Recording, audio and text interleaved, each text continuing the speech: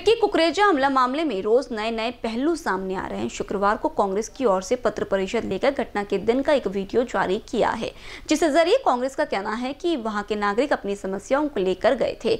इस मामले में नगर सेवक विक्की कुकरेजा ने अपनी प्रतिक्रिया दी है। उन्होंने कहा है कि वहाँ कांग्रेस की ओर से वीडियो निकाला जा रहा था। भाजपा के किसी ने भी वीडियो नहीं निकाला। कांग्रेस ने आत्मचिंतन करना चाहिए।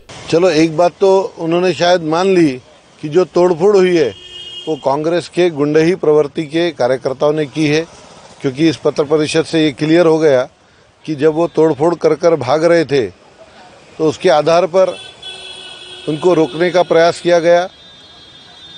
जब वो रुके नहीं, बातचीत नहीं किए, अच्छे खासे तरीके से अगर वो बातचीत करने के लिए आए थे तो फिर तोड़फोड़ क्यों करना चाहिए? और जब हम रोकने की कोशिश कर रहे और जो भाग रहे तो उनको रोका, इसके ज़्यादा वहाँ कुछ नहीं हुआ।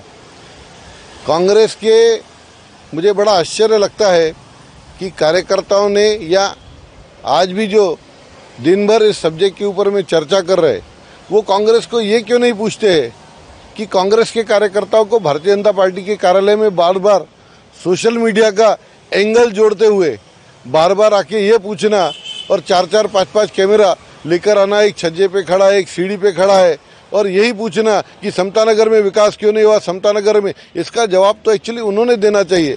और किस मनशा से वो बार बार मेरे कार्यालय में आ रहे थे, वो उनके सोशल मीडिया पे दिखता है।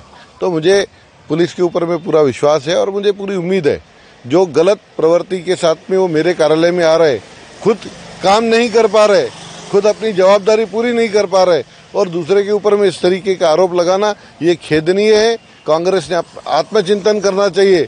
कि उस दिन क्या हुआ और किस तरीके से आपके लोगों ने हमारा ऑफ़िस तोड़ने का काम किया। सीधे तरीके से चुनाव में चुनाव लड़कर आगे बढ़िए।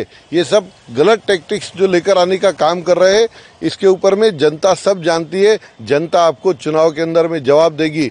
जनता देख रही है कि किस तरीके से पाँच साल हमने ज़मीन पर रहकर काम किया है, पूरे क्षेत्र के अंदर में विकास कार्य किया है और आप गलत प्रैक्टिस करके हमारी इमेज खराब करने का जो काम कर रहे हो, इस चुनाव के अंदर में जनता जवाब देगी। बिल्कुल नहीं दिख रहा है। बिल्कुल आप देखिए, उसके अंदर में तोड़फोड़ क्लियर दिख रही है।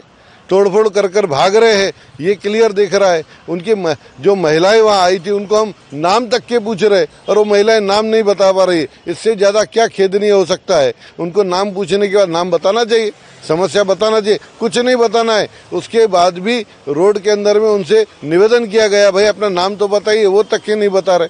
यह सारी घटनाएँ पुलिस के सामने में है, और ये कोई नया वीडियो नहीं, ये वीडियो तो उसी दिन से आ रहा है। नई चीज़ ऐसी इसके अंदर में क्या पेश की गई? भारतीय जनता पार्टी के किसी भी कार्यकर्ता के पास वहाँ कोई वीडियो नहीं था, किसी भी तरीके की हमारी कोई वीडियो बनाने की तैयारी नहीं थी। जो वीडियो बनाने की मंशा से आए, उन्होंने वीडियो बनाए और ये सारे वीडियो उस दिन उन्होंने वायरल कर दिए। इसके अंदर में कोई नई बात नहीं है।